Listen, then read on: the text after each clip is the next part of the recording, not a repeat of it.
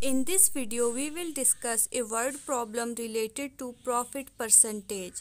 The problem states that Cordelia bought a shirt for rupees 250 and sold it for rupees 295.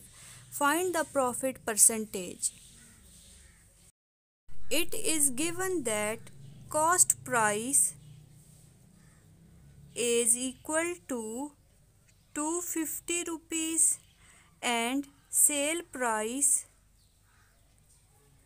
is equal to 295 rupees.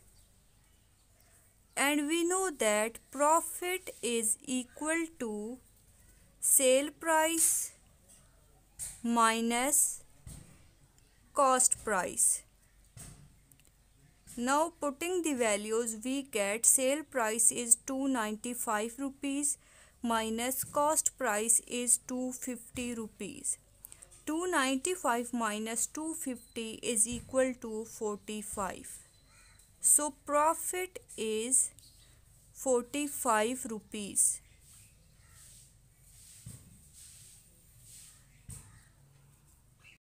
Since we have to find profit percentage and the formula for profit percentage is profit percentage equal to profit divided by cost price multiplied by 100 now substituting the values profit is 45 divided by cost price is 250 multiplied by 100 when we multiply 45 by 100 we get 4500 divided by 250 when 4500 is divided by 250 we get 18 so profit percentage is 18 percent